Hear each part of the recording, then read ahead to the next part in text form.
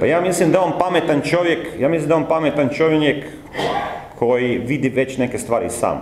Na kraju kraja već prvi dan je on reagirao, napravio što je trebao napraviti, dakle, ali sad se već vidi da je to puno veća sfera i kažem, mislim da to više nije ni njegova, ni njegova zadaća, nego to zadaća on- onih koji skrbe o nacionalnoj sigurnosti Republike Hrvatske. Znate li ko će biti novi ministar? Ne, ne znam ko će biti novi ministar, a, vidjet ćemo, ja vjerujem da se već na tome radi, da ćemo idući tjedan to saznati. Što vi od njega očekujete? Pa ja od njega očekujem da prvenstveno uh, odradi ovaj posao do kraja, da stabilizira cjelokupni sustav, da proveri sve ove, rekao bih, stvari koje su se događale, da li je bilo još nekih stvari dodatnih za koje mi u ovom trenutku možda i ne znamo. Dakle, vidimo evidentno je da se od strane nepolitičkog tijela, savjetnik ministar nije političko tijelo, dakle on je unutar sustava, ali nije organizirano kao politika, dakle da su se tu određene stvari radile i da to treba dobro sve ispitati. Da li je bilo možda još eventualno nečega za što mi u ovom trenutku ne znamo.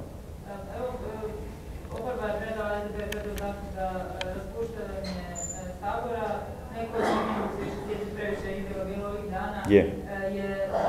kazao da ako i vi imate časti da ćete ih vi podržati. Dakle, prvo, raspuštati sabor sad, četiri ili pet mjeseci do parlamentarnih izbora, mislim da ne rade ozbiljne stranke. Oporba je već mnogo stvari imala, meni osobno Peđa Grbin ne uljeva povjerenje da on to doista i misli.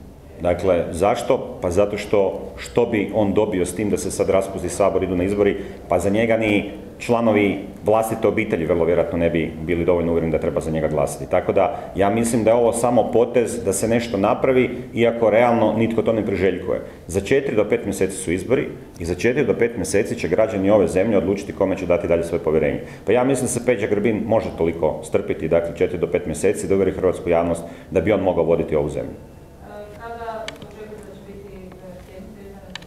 Pa mislim da će biti sljedeći tjedan, bila, dakle bile su dvije opcije da se to pokuša riješiti relativno brzo, i, dakle sljedeći tjedan ili da se pokuša prebaciti poslije božićnih i novogodišnjih blagdana. Obje, obje situacije su po nama ok, zato što imamo državnog tajnika koji je dobio ovlaštenje da bude a, praktički, da mijenja ministra u svim nekim normalnim stvarima, tako da ne vidim zašto bi to bilo brzo, međutim ukoliko premijer ima kandidata koji može dostojno obnašati dužnost ministra gospodarstva, ne vidim razloga zašto se to ne bi brže napravilo, dakle mislim da toga svi možemo imati samo koristi.